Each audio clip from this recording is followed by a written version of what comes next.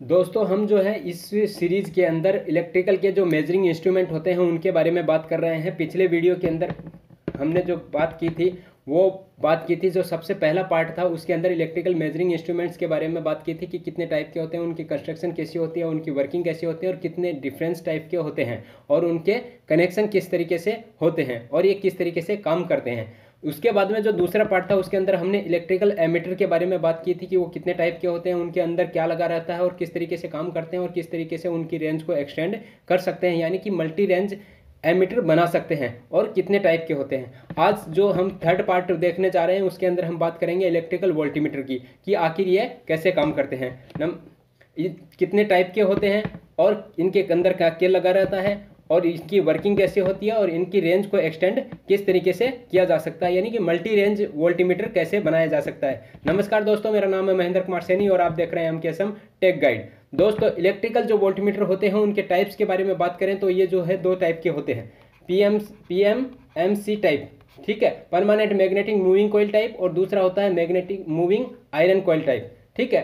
जो permanent magnetic moving coil type होते हैं, वो सिर्फ़ डीसी वोल्टेज डीसी वोल्टेज को ही मेजर कर सकते हैं और ये एसी और डीसी एसी एंड डीसी दोनों को मेजर कर सकते हैं। उसके बाद में इनके अंदर जो परमानेंट मूविंग मूविंग टाइप होते हैं, वो भी दो टाइप के होते हैं। एक होते हैं एसी को मेजर करने वाले, एक होते हैं डीसी को मेजर करने वाले। तो और अगर वेरिएंट टाइप के वोल्टीमीटर की बात करें तो ये जो दो मीटर जो दिखाए हैं, ये हमारे एनालॉग मीटर है। ठीक है, ये हैं हमारे एनालॉग वोल्टीमीटर, ठीक है? और यहाँ पे जो दिखाए हैं, ये हैं हमारे डिजिटल डिजिटल वोल्टीमीटर, ठीक है? तो ऐसा इसको इसलिए बोलते हैं क्योंकि इनके अंदर जो रीडिंग आती है, वो डिजिट के अंदर आती है और इनके अंदर एक स्केल के ऊपर रीडिंग दिखाई जाती है। इसीलिए इनको एनालॉग और इनको डिजिटल बोला जाता है, ठीक है? उसके बाद में देखो, ये हमने आपको बता दिया कि जो है दो टाइप के वोल्टीमीटर होते हैं, पीएमएमसी टाइप हो रहे हैं उसके बाद में वोल्टीमीटर का यूज़ देखते हैं। यूज़ देखो वोल्टीमीटर का यूज़ यूज़ किया जाता है वोल्टेज चेक करने के लिए। जो वोल्टीमीटर होता है हमारा, वो वो चेक करता है वोल्टेज ठीक है?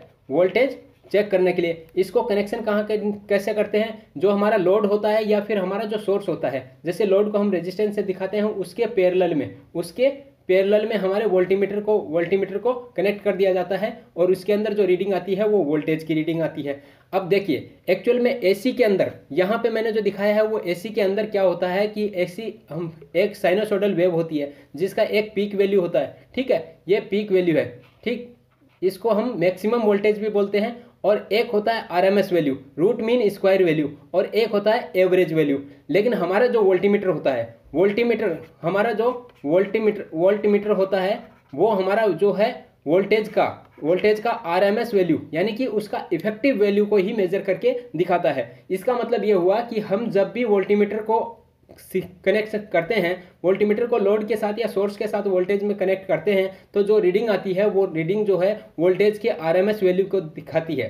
यानी कि वोल्टेज के इफ़ेक्टिव वैल्यू को, लेकिन डीसी के अंदर। यहाँ पे जो दिखाया है, यहाँ पे इसके अंदर हमने दिखाया है कि डीसी जो वोल्टीमीटर होता है, वो जब वोल्टेज चेक करता है तो उसके अंदर आरएमएस या पीक वैल्यू जैसा कुछ नहीं रहता। इसका एक्चुअल जो रीडिंग होता है, वही रीडिंग डीसी में दिखाता है। ठीक है? जैसे मान लो ये कि ये कोई सोर्स है, उसका वोल्टीमीटर का रीडिंग 240 है तो वो 240 ही दिखाएगा। ठीक है? लेकिन एसी के अंदर क्या होता है? पीक वैल्यू को नहीं दिखाता एवरेज वैल्यू को भी नहीं दिखाता। इसकी इफ़ेक्टिव वैल्यू जो कि रूट मीन स्क्वायर वैल्यू होती है वी आर एम एस उसको शो करता है रीडिंग के अंदर। चाहे वो एनालॉग मीटर हो, चाहे वो डिजिटल वोल्टीमीटर हो। दोनों के अंदर ही हमारा आर एम एस वैल्यू ही दिखाता है। ठीक है? उसके बाद में देखिए, आपको बताता हूँ कि एक्चुअल जो वैल्यू होती है, यहाँ जो पीक वैल्यू होती है, ये वी मैक्सिमम है। ठीक है? वी मैक्सिमम मैक्सिमम वैल्यू की V R M S V R M S value जो होती है, वो सेवेंटी पॉइंट सेवन परसेंट होती है मैक्सिमम की। यानी कि V R M S V R M S जो वैल्यू होती है, वो सेवेंटी पॉइंट सेवन परसेंट होती है किसकी? ऑफ़ वी मैक्सिमम की। ठीक है? और वी एवरेज एवरेज जो वैल्यू होती है, वो होती है तिरसठ पॉइंट छः percent of of V maximum की। ठीक है? तो इस तरीके से जो वैल्यू कैलकुलेट की जाती है वी मैक्सिमम की, जो V R M S value होती है, वो दिखाती है। और हमारा जो वोल्टीमीटर होता है, वो V R M S value को ही शो करता है। ठीक है? उसके बाद में देखिए सिंगल फ़ेज़ वोल्टीमीटर होता है, उसके कनेक्शन किस तरीके से होते हैं। सिंगल फ़ेज़ वोल्ट के अंदर अगर वोल्टेज चेक करना है सिंगल फ़ेज़ के अंदर वोल्टेज चेक करना है तो हमारे पास एक टू पोल का सोर्स होगा, ठीक है? टू पोल का सोर्स में एक फ़ेज़ होगा और एक न्यूट्रल होगा। तो जैसे मान लो हमारे पास एक लोड है लोड है हमारे पास सौ वाट का बल्ब। सौ वाट के बल्ब को अगर हमको लोड से कनेक्ट करना है तो उसके लिए हमको एक सोर्स चाहिए। जैसे मान लो कि ये एसी सोर्स है, ठीक है? एसी सोर्स को हम जो है कंट्रोल करने के लिए एमसीबी लगाते हैं। अब एमसीबी के साथ और लोड के साथ और सोर्स के साथ कनेक्शन कैसे होंगे? देखिए सोर्स को पहले एमसीबी में कनेक्ट किया जाता है, उसके बाद में एमसीबी को जो है कनेक्ट किया जाता है। एमसीबी हमारा एक प्रकार का स्विच है, ठीक है? उस एमसीबी को हम जो है कनेक्ट कर देते हैं लोड के साथ। ठीक है, अब हमको वोल्टेज चेक करना है। वोल्टेज चेक करना है तो वोल्टेज हम सोर्स का भी चेक कर सकते हैं और लोड का भी चेक कर सकते हैं। और वोल्टीमीटर को जैसा कि मैंने आपको बताया है कि ये वोल्टीमीटर जो होता है वो लोड के साथ या सोर्स के साथ पैरेलल में कनेक्ट होता है। तो जैसे मान लो कि सोर्स का वोल्टेज चेक करना है। इस एग्ज़ाम्पल में मैं सोर्स का वोल्टेज चेक करने के लिए बता रहा हूँ। तो सोर्स के वोल्टेज के लिए हमको एक चाहिए वोल्टीमीटर वोल्टीमीटर के कनेक्शन किस तरीके से करेंगे? इस तरीके से कि एक फ़ेज़ का वायर जोड़ देंगे और एक न्यूट्रल का वायर जोड़ देंगे। तो यहाँ पर ये जो ये जो वायर है, ये हमारा फ़ेज़ है और ये हमारा न्यूट्रल है। ठीक है, ये टू पोल है सिंगल फ़ेज़ सप्लाई है। अगर थ्री फ़ेज़ के अंदर कनेक्शन करने हो तो वो कैसे करेंगे, देखते हैं। देखिए थ्री फ़ेज़ के अंदर जो कनेक्शन करने हैं, मान लो हमारे पास एक थ्री फ़ेज़ का सोर्स है, ठीक है? स्टार कनेक्टेड कोई सोर्स है, उस सोर्स को किसी लोड से कनेक्ट करना है, जैसे मान लो हमारे पास एक मोटर है मोटर के साथ हमको कनेक्ट करना है तो लोड को और सोर्स के साथ डायरेक्ट नहीं कनेक्ट किया जाता है, इसके लिए हम जो है एक स्टार्टर काम में लेते हैं, ठीक है? जैसे मान लो ये हमारा D O L starter D O L starter है। ठीक है? इसके कनेक्शन किस तरीके से करेंगे? हमारे सोर्स की सप्लाई जाएगी हमारे डी ओ एल स्टार्टर के पास। ठीक है? यहाँ पे तीनों फ़ेज़ फ़ेज़ के लिए होते हैं और न्यूट्रल जो है इसके इंडक्शन कोयल को, इसकी कोयल जो होती है, उसके लिए काम में लिया जाता है। जैसे हम उसके बाद में हमारा जो स्टार्टर होता है, उसको जोड़ देते हैं हम मोटर से।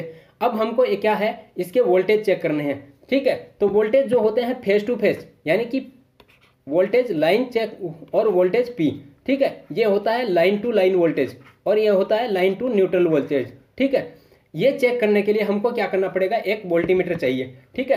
वोल्टीमीटर को अब सभी के साथ कनेक्शन एक तरीके से नहीं दिए जा सकते क्योंकि उसके पास दो ही टर्मिनल होते हैं कनेक्ट करने के लिए, ठीक है? यानी कि किसी भी दो ही पॉइंट का वोल्टेज वो दिखाता है। इसके लिए हमको क्या चाहिए? एक टर्मिनल एक सिलेक्टर स्विच चाहिए। सिलेक्टर स्विच डिसाइड करेगा कि हमको किसका वोल्टेज चेक करना है। ठीक है? तो सबसे पहले हम जो है जो सिलेक्टर स्विच होता है उसके साथ हम चारों जो फे, तीनों फ़ेज़ और न्यूट्रल के कनेक्शन कर देते हैं। उसके बाद में जो दो टर्मिनल होते हैं वो वोल्टेज मीटर के साथ में कनेक्ट हो जाते हैं। और उसके बाद में हम जो है सिलेक्टर स्विच के अंदर सिलेक्टर स्विच के अंदर लाइन वन टू का वोल्टेज लाइन टू थ्री का वोल्टेज लाइन थ्री और वन का वोल्टेज चेक कर सकते हैं सिलेक्शन करके। और उसके बाद में लाइन के साथ न्यूट्रल वोल्टेज लाइन टू का साथ न्यूट्रल वोल्टेज और लाइन थ्री के साथ न्यूट्रल वोल्टेज भी चेक कर सकते हैं। इस तरीके से जो है थ्री फ़ेज़ वोल्टीमीटर के अंदर थ्री फ़ेज़ के जो सोर्स या लोड होता है, उसका वोल्टीमीटर का वोल्टेज चेक किया जाता है। इस तरीके से उसके कनेक्शन होते हैं। ठीक है, उसके बाद में देखते हैं कि इसके अंदर वोल्टीमीटर की जो है कंस्ट्रक्शन कैसे होती है। इसके अंदर देखो एक परमानेंट मूविंग मैग्नेटिक कोयल होती है। परमानेंट ये परमानेंट मैग्नेट है और ये एक मूविंग कोयल है, ठीक है? इसीलिए इसको P M M C M C बोलते हैं। परमानेंट मैग्नेटिक मूविंग कोयल इसके अंदर जो मैग्नेटिक फ़ील्ड कोयल है, उसके अंदर दो टर्मिनल होंगे। दो टर्मिनल को हम जैसे ही पैरेलल में कनेक्ट करेंगे तो यहाँ से एक करंट फ्लो होता है, ठीक है? वो करंट क्या होगा? एक मैग्नेटिक फ़ील्ड जनरेट करेगा और यहाँ पे जैसे मोटर मूव करता है ये स्पेंडल के साथ में एक पॉइंटर कनेक्ट होता है और ये पॉइंटर स्केल इसके ऊपर मूव करता है, ठीक है? इस तरीके से जो है हमारा वोल्टीमीटर जो होता है, काम करता है, ठीक है? लेकिन ये तो गैल्वेनोमीटर भी करता है, एमीटर भी करता है तो इसका जो रेजिस्टेंस होता है, इसका जो रेजिस्टेंस होता है, वो बहुत ज़्यादा होता है, ताकि इसके ऊपर जितना ज़्यादा वोल्टेज ड्रॉप होगा, वो ही उसका वोल्टेज को शो करेगा। क्योंकि आप जानते हैं, इसके अंदर जो करंट जाएगा, इसके अंदर जो करंट जाएगा आई मान लो, मीटर के अंदर जो करंट जा रहा है, वो क्या होगा? इसके रेजिस्टेंस के ऊपर डिपेंड करेगा। ठीक है? इसके रेजिस्टेंस के आरएम के ऊपर डिपेंड करेगा और हमको जो रीडिंग दिखाएगा, यानी कि स्केल के ऊपर जो रीडिंग दिखाएगा, वो दोनों के मल्टीप्लाई के बराबर दिखाएगा। ये हो गया I R M I M R M यानी मीटर के अंदर जो करंट जा रहा है, वो इंटू उसका मीटर की कोयल का जो रेजिस्टेंस है, उनके गुणनफल के बराबर हमको जो है रीडिंग दिखाएगा। जो एक्चुअल में रीडिंग होता है वी का, क्योंकि आप जानते हैं ओम के नियम अनुसार वी बराबर होता है आई आर ठीक है? तो यह हमको जो है वोल्टेज ड्रॉप दिखाता है। अब हम क्या कर सकते हैं, देखो आपने जो है वर्किंग देखा कि किस तरीके से काम करता है, अब देखते हैं वर्किंग जो है, इसका सर्किट बनाते हैं। इसका सर्किट इस तरीके से बनता है कि जैसे मान लो कि हम एक वोल्टीमीटर है, उसका जो रेजिस्टेंस है कोयल का, वो है आरएम और इसके सीरीज़ में हम एक रेजिस्टेंस लगा देते हैं, जिससे कि उसका वोल्टेज ड्रॉप जो है बढ़ जाता है। ऐसा किस लिए होता है? देखो, अगर मान लो हम स्टार्टिंग के अंदर ये वोल्टीमीटर है, मान लो ज़ीरो से पाँच पाँच वोल्टेज चेक करने का वोल्टीमीटर तो इसके अंदर जो करंट फ्लो होगा, मान लो कि ज़ीरो पॉइंट ज़ीरो ज़ीरो एक एम्पियर एक एम्पियर यानी कि एक मिली एम्पियर करंट फ्लो हो रहा है। तो ये जो है, इसका रेजिस्टेंस कितना होगा? मान लो पाँच हज़ार ओम का, ठीक है? पाँच हज़ार ओम इसका रेजिस्टेंस है। आर एम की वैल्यू हमने रखी है पाँच हज़ार ओम पाँच हज़ार ओम तो ये जो है value I into R I into R क्या हो जाएगा? Five thousand five thousand into zero point zero zero one ठीक है? तो ये एक्चुअली पाँच वोल्टेज तक चेक कर सकता है। इस यानी कि इसके ऊपर जो वोल्टेज ड्रॉप होगा, वो पाँच वोल्टेज तक होगा। लेकिन हमको इसके सीरीज़ में, अगर इसके सीरीज़ में कोई और रेजिस्टेंस जोड़ देते हैं, इसके सीरीज़ में कोई और रेजिस्टेंस जोड़ देंगे तो इसका जो इक्विलेंट रेजिस्टेंस बनेगा, यानी कि आर टोटल आर टोटल क्या बनेगा? आर सीरीज़ का रेजिस्टेंस प्लस आर एम ठीक है? इस तरीके से इसके ऊपर जो वोल्टेज ड्रॉप होगा वोल्टेज ड्रॉप जो होगा, यहाँ पे जो रेजिस्टेंस है, उसकी वैल्यू बढ़ेगी और इसके अंदर जो करंट कैपेसिटी है, यानी कि आई एम आई एम जो है, वो फिक्स रखता हूँ मैं, यानी कि एक मिली एम्पियर और इसका रेजिस्टेंस बढ़ा देता हूँ पचास हज़ार ओम तो ये हो जाएगा पचास वोल्टेज तक का रेजिस्टेंस ठीक है? तो यहाँ पे जो मैंने रेजिस्टेंस चेक किया है यहाँ पे जो सीरीज़ में इसको पूरा पूरा जो टोटल रेजिस्टेंस बन रहा है पचास हज़ार ओम ठीक है? इसका पहले से ओम है पहले से जो रेजिस्टेंस है वो है पाँच हज़ार ओम। तो यानी कि यहाँ पे मैंने क्या कर दिया? पैंतालीस हज़ार ओम का रेजिस्टेंस एक सीरीज़ में जोड़ दिया। तो हमारा जो वोल्टमीटर था, वो ज़ीरो से पाँच वोल्टेज चेक कर सकता था। अब वो ज़ीरो से पचास वोल्टेज चेक कर सकता है। इस तरीके से जो है वोल्टेज की रेंज को एक्सटेंड किया जाता है। उसके बाद में देखते हैं extension of the range of moving coil voltmeter इस, जैसा कि मैंने आपको बताया है कि इसके सीरीज़ में जो रेजिस्टेंस हम जोड़ेंगे उसकी वैल्यू के आधार पर हम जा रहा, हमारा जो वोल्टीमीटर का रेजिस्टेंस है वो आई आर है, ठीक है? आर हमारा टोटल रेजिस्टेंस है आर टी टोटल रेजिस्टेंस हमारा आर एस सी यानी कि सीरीज़ रेजिस्टेंस और आर एम ठीक है? यानी कि मीटर का रेजिस्टेंस उसके तुल्य होता है। इसके अंदर जो करंट जाने वाली कैपेसिटी है, जैसे मान लो करंट जो कोयल की कैपेसिटी है, वो एक इतना ही एम्पियर की है। अब मैं जैसे जैसे रेजिस्टेंस बढ़ाऊँगा वैसे वैसे इसके अंदर वोल्टेज ड्रॉप क्या होता जाएगा? बढ़ता जाएगा। ठीक है? जैसे मान लो कि मैं वोल्टीमीटर ज़ीरो से पाँच पाँच वोल्टेज तक का जैसे मैंने बताया कि इसके अंदर पाँच हज़ार ओम टोटल रखूँगा। पाँच हज़ार ओम टोटल रखूँगा। अगर मुझे ज़ीरो से पचास ओम का बनाना है पचास वोल्टेज तक का बनाना है तो मेरा जो रेजिस्टेंस होगा वो होगा पचास हज़ार ओम। ठीक है? अगर इसी को मुझे ज़ीरो से पाँच सौ ओम पाँच सौ वोल्टेज तक का बनाना है तो इसके साथ में मैं रीडिंग रखूँगा कितना? पाँच लाख ओम का। ठीक है? इसके अंदर हमारा जो रेजिस्टेंस है, जो सीरीज़ रेजिस्टेंस है, इस series resistance R S C और आर एम इसका वैल्यू क्या है? यहाँ पे भी मेरा पाँच हज़ार ओम है, पाँच हज़ार ओम यहाँ पे भी मेरा पाँच हज़ार ओम है, ठीक है? और यहाँ पे भी मेरा पाँच हज़ार ओम है, ठीक है? यानी कि मेरा जो मीटर है, वो सेम है। मीटर की कोयल का करंट कैपेसिटी भी कितना है मेरा? इतना ही है। यानी कि मीटर जो है मीटर की कोयल कैपेसिटी एक मिली एम्पियर ही है। लेकिन मैं जो सीरीज़ में रेजिस्टेंस जोड़ूँगा टोटल रेजिस्टेंस इसके लिए पाँच हज़ार ओम है तो यहाँ, ठीक है? तो यहाँ पे कोई भी रेजिस्टेंस जोड़ने की ज़रूरत नहीं है। यहाँ पे अगर रेंज बढ़ानी है तो मुझे पैंतालीस हज़ार ओम रेजिस्टेंस जोड़ना पड़ेगा, ठीक है? और यहाँ पे अगर मुझे रेजिस्टेंस बढ़ाना है तो इस यहाँ पे हो जाएगा मेरा चार लाख पचास हज़ार, ठीक है? चार लाख पचास हज़ार ओम का रेजिस्टेंस इसके अंदर जोड़ दूँगा। तो मेरी जो रेंज हो जाएगी वो रेंज एक्सटेंड होती जाएगी, ठीक है? इस तरीके से। अब इससे आपको ये समझ में आता है कि मैं एक ही मीटर को, एक ही मीटर एक ही मीटर जिसका इंटरनल रेजिस्टेंस पाँच हज़ार ओम है और जिसकी करंट कैपेसिटी जो मूविंग कोयल है उसकी current capacity zero point zero zero one या एक मिली एम्पियर है, उसी को मैं सीरीज़ में रेजिस्टेंस जोड़ के सीरीज़ में इतना ओम रेजिस्टेंस जोड़ के उसको, इसकी रेंज को एक्सटेंड कर सकता हूँ, ठीक है? अब देखिए, अब आपको रीडिंग कैसे पढ़नी है? ये रीडिंग इसका दस गुना है, ठीक है? ये इसका दस गुना है, ये इसका सौ गुना है। तो यहाँ पे जो भी रीडिंग आएगी, उसको आपको दस से मल्टीप्लाई करना है, ठीक है? यहाँ पे जैसे मान लो कि दो दो वोल्टेज आ रहा है तो इसको दस से गुना करेंगे तो ये बीस वोल्टेज आ जाएगा, ठीक है? और यहाँ पे अगर आपने कनेक्शन इस पर कर रखा है तो ऐसी कंडीशन में आपको क्या करना है? जो दो रीडिंग है, उसको सौ से मल्टीप्लाई करना है, जिससे कि आपकी एक्चुअल रीडिंग का पता चल जाएगा कि 200 वोल्टेज है, ठीक है? तो इस तरीके से हम जो है किसी भी वोल्टीमीटर की रेंज को एक्सटेंड कर सकते हैं। उसके बाद में देखते हैं कि ये जो वोल्टीमीटर है, उसके अंदर जो रेजिस्टेंस लगाया जाता है, इसी को हम बोलते हैं संट रेजिस्टेंस ठीक है? संट रेजिस्टेंस या मल्टीप्लाई रेजिस्टेंस यानी कि इसी रेजिस्टेंस को हम क्या बोलते हैं? मल्टीप्लाई रेजिस्टेंस ठीक है?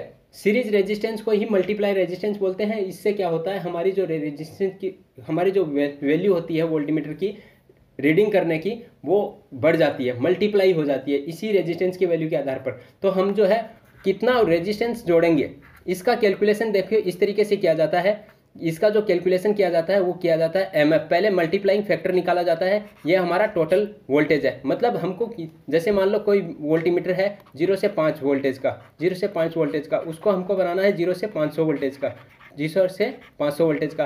तो वी एम जो होगा, वो पाँच सौ वोल्टेज वाला रीडिंग है। ठीक है 500 वोल्टेज वाला रीडिंग वी मैक्सिमम अब मीटर का रीडिंग एक्चुअल में मीटर कितना रीड कर सकता है? तो ये जो है, वो है हमारा पाँच वोल्टेज ठीक है? तो इस तरीके से हमारा जो है, इसका सो क्या हो जाएगा? मल्टीप्लाइंग फैक्टर अब यहाँ पे ये भी वोल्टेज है और ये भी वोल्टेज है, इसलिए इसके वोल्टेज मल्टीप्लाइंग फैक्टर जो है, उसका कोई भी यूनिट नहीं होगा, ठीक है? इस तरीके से मल्टीप्लाइंग फैक्टर ज्ञात करते हैं। और उसके बाद में संट में, यानी कि हमारे जो सीरीज़ रेजिस्टेंस है यानी कि मल्टीप्लाइंग रेजिस्टेंस है, उसका वैल्यू जो होगा इस तरीके से ज्ञात किया जाता है। ठीक है? इंटू आर एम ये है हमारा सेंट सीरीज़ में जो रेजिस्टेंस मल्टीप्लाई रेजिस्टेंस लगाना है, और ये है हमारा एम एफ़ ठीक है? एम एफ़ माइनस वन जैसे मान लो कि ये जो वोल्टीमीटर है, वो हमारा इतना है। और इसकी करंट कैपेसिटी इसका स्टार्टिंग रेजिस्टेंस है पाँच हज़ार ओम ठीक है? और हमको इसको 500 वोल्टेज का बनाना है। तो 500 वोल्टेज का मल्टीप्लाइंग फैक्टर जैसे कि मैंने आपको बताया कि इसका सौ हो गया। तो इसके अंदर कितना रेजिस्टेंस जोड़ूँगा कि इसका 500 वोल्टेज बन जाएगा? तो इसके अंदर देखिए मल्टीप्लाइंग फैक्टर सौ माइनस वन ठीक है? इंटू आर एम यानी कि मीटर का रेजिस्टेंस मीटर का रेजिस्टेंस क्या है? पाँच हज़ार, ठीक है?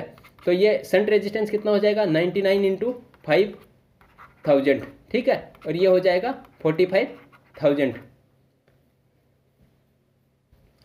तो हमको जो है इस रेजिस्टेंस के सीरीज़ में सीरीज़ में पाँच फोर्टी फाइव थाउज़ेंड का रेजिस्टेंस जोड़ने से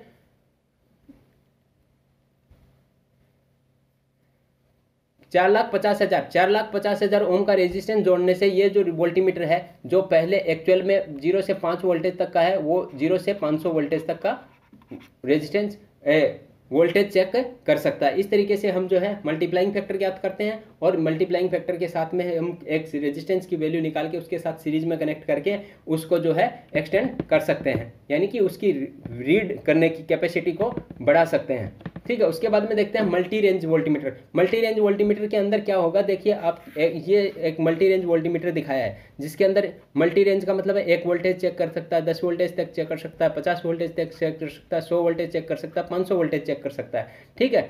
तो इसके अंदर क्या होता है? एक सिलेक्टर स्विच है। जैसे यहाँ पे एक सिलेक्टर स्विच है ठीक है?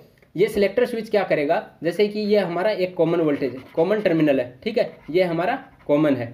कॉमन टर्मिनल को जोड़ने के बाद में ये टर्मिनल जो है, किस रेजिस्टेंस पे कनेक्ट है। ठीक किस रेजिस्टेंस पे कनेक्ट है। जैसे मान लो कि अगर ये ये यहाँ पे 50 वोल्टेज पे कनेक्ट है तो इसका जो सर्किट बनेगा, देखिए, इस सर्किट में ये और ये दो रेजिस्टेंस सीरीज़ में रहेंगे। अगर ये यहाँ पे कनेक्ट है तो ये तीनों रेजिस्टेंस सीरीज़ में रहेंगे। अगर ये यहाँ पे कनेक्ट है तो ये यहाँ पे चार रेजिस्टेंस कनेक्ट रहेंगे और पाँच वोल्टेज पाँच सौ वोल्टेज की रेंज में है तो ये पूरे के पूरे रेजिस्टेंस सीरीज़ में कनेक्ट रहेंगे। और सीरीज़ में आप जानते हैं कि जो है एस वन प्लस होता जाता है, ठीक है? ये प्लस होता जाता है, ठीक है? सीरीज़ में इसका जो सीरीज़ रेजिस्टेंस की वैल्यू होती है, वो बढ़ जाती है। जिसके आधार पर ये बढ़े हुए रेजिस्टेंस के आधार पर ये वोल्टेज ड्रॉप कराता है और हमको एक वैल्यू कि किसका देता है? जितना वोल्टेज जो रहेगा वोल्टेज क्या होता है? आई आर ठीक है? यानी कि रेजिस्टेंस अगर बढ़ेगा तो वोल्टेज ड्रॉप भी बढ़ेगा। और वोल्टेज ड्रॉप बढ़ेगा तो हमारा वोल्टेज का रीडिंग भी ज़्यादा आएगा। ठीक है, इस तरीके से जो मल्टी रेंज जो वोल्टीमीटर होते हैं, वो इस तरीके के सर्किट में काम करते हैं। ये हमारा एक्चुअल मीटर है, ठीक है? ये हमारा एक्चुअल मीटर है और उसके सीरीज़ में ये जो है अलग अलग लेवल के रेजिस्टेंस कनेक्ट होते जाते हैं। जैसे कि मान लो कि अगर 10 वोल्टेज चेक करना है तो निन्यानवे पॉइंट पाँच किलो वोल्ट, ओम का रेजिस्टेंस चेक होगा और अगर 50 वोल्टेज चेक करना है तो ये रेजिस्टेंस और ये रेजिस्टेंस दोनों क्या हो जाएँगे? प्लस हो जाएँगे, यानी कि चार सौ निन्यानवे पॉइंट पाँच किलो ओम का रेजिस्टेंस आएगा जब हमको पचास वोल्टेज तक चेक करना होगा। ठीक है? इस तरीके से अब उसके बाद में देखते हैं कि किसी एमीटर को, किसी एमीटर को वोल्टीमीटर कैसे बनाते हैं? किसी एमीटर को वोल्टीमीटर बनाना है तो एमीटर के सीरीज़ में एमीटर के सीरीज़ में एमीटर के सीरीज़ में एक हाई हाई वैल्यू का कितना? एकदम हाई वैल्यू का रेजिस्टेंस जो है इसके सीरीज़ में कनेक्ट कर देंगे और उसको जो है वोल्टीमीटर के साथ अगर आपको कनेक्ट करना है, जैसे ये हमारा लोड है, ठीक है? तो इसको वोल्टीमीटर को जो है, ये वोल्टीमीटर बनेगा, उसको हमको जो है कनेक्ट करना है किसके साथ? ठीक है? कैसे? पैरेलल में। अगर पैरेलल में कनेक्ट कर देंगे तो ये वोल्टीमीटर की भांति करेगा और अगर किसी वोल्टीमीटर को एमीटर बनाना हो तो किसी वोल्टीमीटर को एमीटर बनाना हो, जैसे ये वोल्टीमीटर है, और इसको एमीटर बनाना है तो इसके संट में, इसके संट में एक लो रेजिस्टेंस संट में एक लो रेजिस्टेंस लो वैल्यू का रेजिस्टेंस जो कनेक्ट कर देंगे, और हम जो है इस, ये एमीटर बन जाएगा। एमीटर जो होता है, हमारा लोड है, जैसे मान लो कि ये लोड है, और उसके साथ में ये हमारा एमीटर हो जाएगा, और इस तरीके से जो है हमारा सोर्स के साथ कनेक्ट हो जाएगा। ठीक है? तो इस तरीके से हम वोल्टीमीटर को एमीटर बना सकते हैं और एमीटर को वोल्टीमीटर बना सकते हैं। ये देखना है आपको कि रेजिस्टेंस सीरीज़ में कनेक्ट करना है या पैरेलल में। जो संट में सीरीज़ में रेजिस्टेंस कनेक्ट किया जाता है, वो हाई वैल्यू का रेजिस्टेंस होता है और वोल्ट किसी वोल्ट एमीटर को वोल्टीमीटर बनाना है तो उसके साथ में कनेक्ट करना रहता है। ठीक है? इस तरीके से जो है, किसी एमीटर को वोल्टीमीटर और वोल्टीमीटर को एमीटर बनाया जा सकता है। अब देखते हैं इसकी सेंसिटिविटी सेंसिटिविटी क्या होता है कि कोई भी वोल्टीमीटर होता है, वो कितना सेंसिटिव है मतलब कितनी कम वैल्यू को भी अच्छे से रीड कर सकता है, ये उसकी सेंसिटिविटी होती है। तो इसका एक फॉर्मूला होता है वोल्टीमीटर का जो रेजिस्टेंस होता है, जैसे वीएम ठीक है? VM और उसकी वोल्टीमीटर की रेंज जैसे मान लो कि कोई वोल्टीमीटर है ज़ीरो से पाँच वोल्टेज तक चेक कर सकता है, ठीक है?